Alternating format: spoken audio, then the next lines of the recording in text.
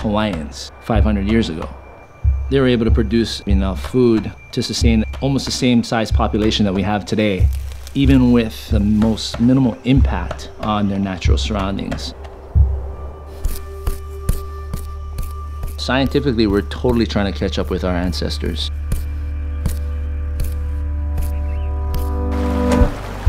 The word malama often just translates to taking care, but it also translates to the light. When you malama a place, you get to see the true light of that space.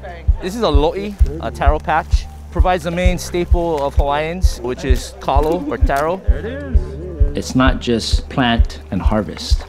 It's to create an ecosystem feeding the animals and plants in order to feed ourselves.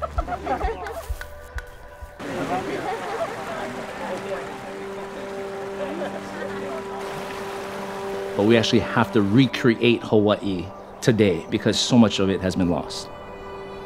Here at our nursery, we actually grow uh, over 160 different species of native Hawaiian plants, including about 65 varieties of kalo. Preservation of species is preserving our culture. It's actually a hibiscus tree. There are two plants left in the wild. That's it.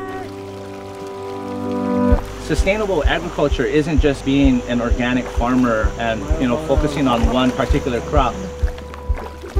You have to put back and you have to give back.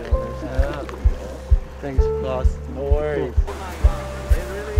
It's just the simple coming to a farm, understanding the history of that space, putting that energy in for that day, and the joys of food at the end of it.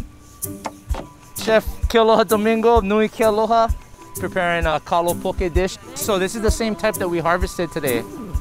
Being able to even sample a little bit of the work that you put into it. Ah, look at that thing. Oh man, even I'm excited.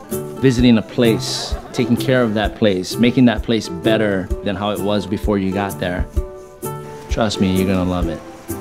Learn how you can malama Hawaii at gohawaii.com slash malama.